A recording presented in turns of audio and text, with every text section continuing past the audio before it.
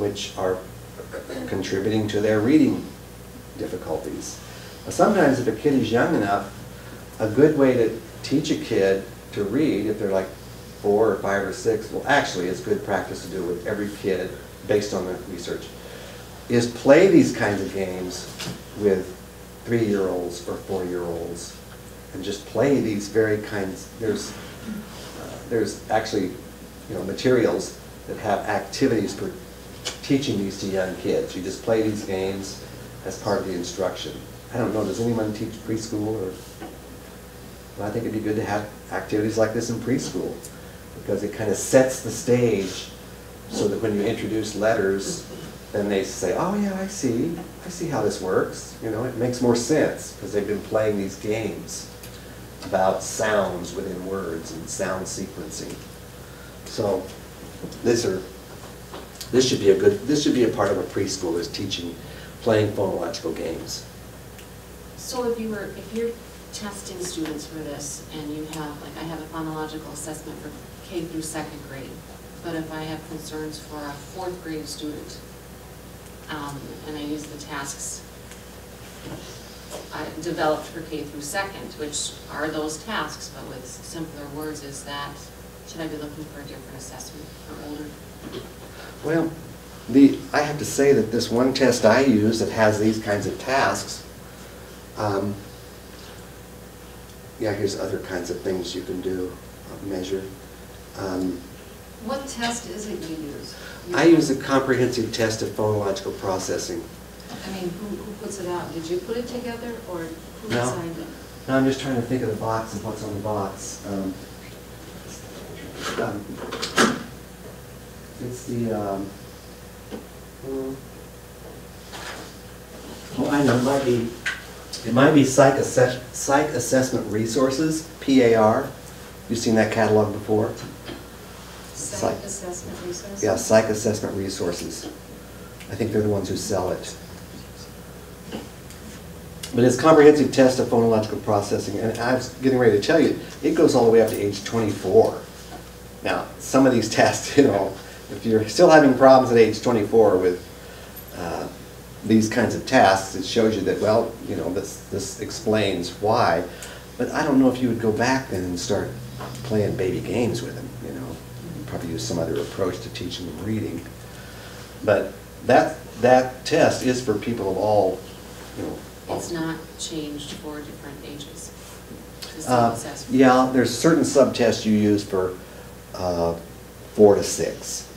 But then from six on, it's all the same subtests. So I have two assessments, one for lower grades, one for higher grades, and I'm just wondering,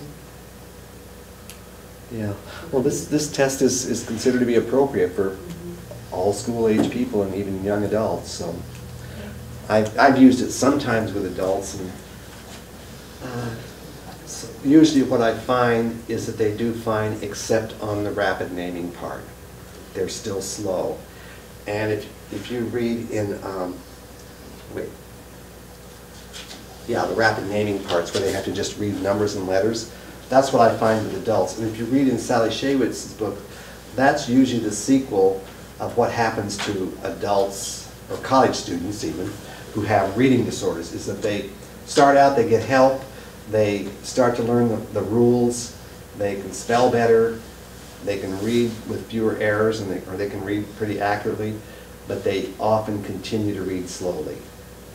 So that's the last, spelling and reading fluency are two areas that often are really the last to kick in or resolve.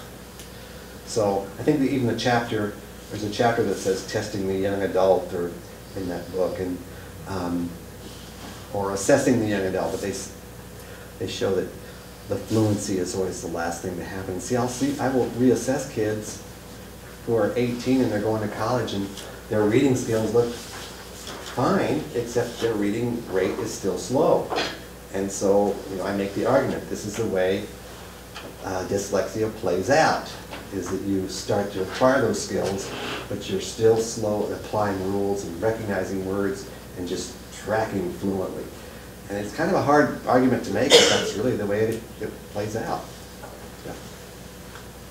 Do you, have you, do you know anything about the minimal instructional reading level required for uh, adult functional reading, like filling out applications, reading the want ads? Do you, do you know anything about what that would be?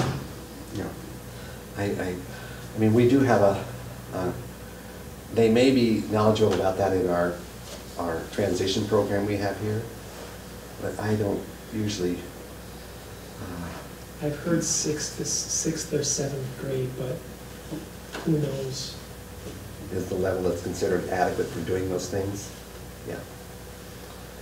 But Anyway, so, uh, yeah, just to let you know that the phonological, uh, keep in mind, no single test determines a diagnosis of dyslexia, and of course, you want to make sure hearing and vision issues have been checked out. Yeah, Um, I'm a parent and uh, my child uh, is in, it has an IEP and she's in third grade. Um, Do they go through dyslexia, I mean, figuring out if, testing for that? um, If she has like a learning, you know, they, just to figure out where she's going wrong. Is that like a standard that people would try to test for that? Or do you have to require, you know, ask for it or something? well now, is your, is your child in public school? Um, well, no, she's in private school, but she, um, actually gets help from the public school for that district, that they, they take her from the private school to the public school. And so all the testing is done at the public school, and then it's given back to her teachers in private. So they share information with the private school teachers too? Yep, the big meetings and stuff, Well, every school does it different. In a public school, you know, I'm sure that the teacher, it, it would come down to the individual teacher. And that's where you would want to find out, you know, what they're doing, if, if they're working on specific skills or specific sub-skills, like certain sounds or certain uh, blending sounds or sight word recognition. I guess you'd want to find that out. And as far as exploring the underlying problem, it's probably been based on, you know, achievement testing. Woodcock Johnson, reading nonsense words, reading actual words. That, that's probably how she was found to be eligible. Right, right. But as far as going and exploring some of the underlying causes, probably not so much. They just go ahead and start addressing the skill weaknesses that they see. Right, right, right. Can I say something from my experience? I'm a reading specialist in a private school, and our kids get special ed with the public school, which is right across the, the parking lot. I feel, I feel badly. Um, I cannot, I know, um, when a child has dyslexia, I can tell, I have many assessments to give, and I know, but I cannot say that because of liability. Uh, I did come out and say it one time, and I got in a lot of trouble. Um, So I'm, I direct people to private consultants, some have come here for testing for that, um, because it's really a dilemma. But you know, it, it And they will not, they will not say, this child is dyslexic. Our, our public school system, there's a special ed department, and people who do the assessments, they will not say that. They will say different little things, but they won't do that, and it all has to do with liability. I know, it's like there's a mystique about the word. It's like a dangerous word or I something. know, you and Well- and really, so many have dyslexic, dyslexia or dyslexic tendencies. Part, So- and part of the issue is there's a, a huge con- controversy about how to address dyslexia. And the Orton Gillingham people who have given a lot, you know, to the, uh, to education in general. I mean, I'm not, I'm not trying to take anything away from them, but sometimes it's a bit myopic in terms of this is the only way to address it. And that has gotten all the way up to the Supreme Court. I mean, it's gone to the court system again and again. And when they look at the research, Orton Gillingham is not the only way to address it. What is another way? If it's not a uh, phonetic-based form of multisensory instruction, what is another way? There's so many Orton Gillingham pro- programs, Yeah. um, and they're research-based to be successful with dyslexia. Yeah, you have to define what research-based means, is because a lot of these research studies that the Orton Gillingham people will cite are fairly, it's flawed research, basically. In what way?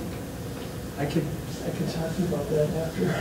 No, but I want to know what other forms of instruction, um, I mean, obviously, you can't just do straight Orton Gillingham because it's, it's very dry. And I, I think it's difficult for children to focus on that for a real extended period of time. You can incorporate comprehension, vocabulary, that kind of thing.